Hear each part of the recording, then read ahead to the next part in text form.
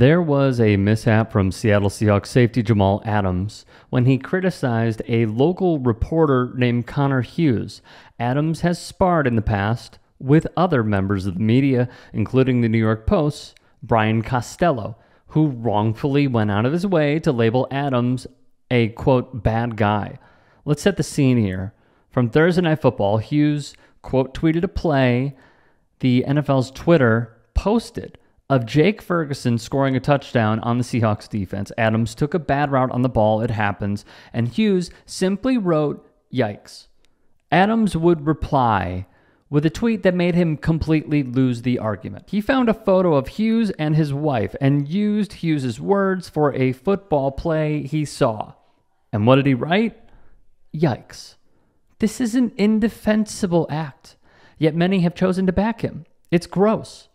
Adams would later retweet a message that read, I don't know why media members think they can constantly scrutinize and personally demean, belittle, and antagonize players with no repercussions.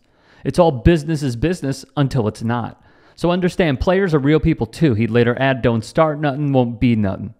Andy Vasquez, a New York media man himself who covers the Jets, seen here on the bottom of this interview, would tweet in the aftermath One of my favorite Jamal Adams moments was that time the Jets were still in playoff contention, and he stood in the middle of the locker room, ripping the coach and GM, also saying, quote, It's not about me, and praising his own leadership skills.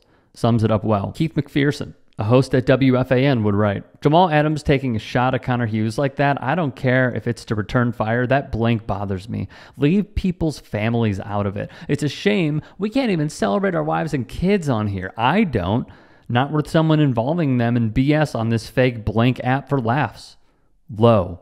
Some have even dug up Adams's old tweets, with many pointing towards the hypocritical mantra of do as I say, not as I do from awful announcing. There has been a lot of growing support for Hughes when he was on the wrong end of a personal attack from Adams earlier this weekend. Despite being the right thing to do, this was unexpected since the SNY insider has had a complicated relationship with the team's fans. Nevertheless, they rallied behind him against Adams and even supported Costello in a similar situation. And Heavy wrote Adams's revenge post was immediately slammed on social media. One fan posted, "Don't think I've ever seen a pro athlete take a shot at a sports reporter's wife." Such a classless and cowardly move. The athletic Zach Rosenblatt clapped back. Connor is better in coverage than you are. Sarcastically. One woman responded, Nah, that's really lame to roast the appearance of someone's partner. She didn't say anything to you.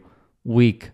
Pro Football Focus's Sam Monson, a great follow, posted, This makes you look like a blank. If there is one constant that I think we've heard from players over and over again, no matter the sport, no matter the state, no matter the country, even.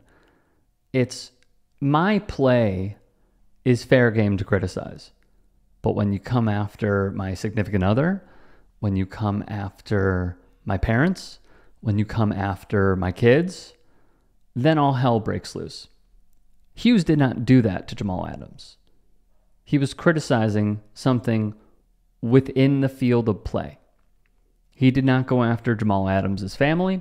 He didn't go after his extended family. He didn't go after Jamal Adams' physical appearance by any stretch of the imagination, which makes this so harsh and grotesque at the same time. That should be fair game, especially when it comes to members of the media. It is our job to check those inaccuracies or mishaps, get a quote, and tell the athlete's side of the story. This was not an egregious tweet from Connor Hughes. It was what I'm sure many in the football world felt watching that play. Jamal Adams is a good player. Some have said he's not what the Seahawks should have paid for. That's their opinion. And they're fine to hold that opinion. You know why? Because it wasn't personal. It was about the product that we see on the field and that's where it should always stay.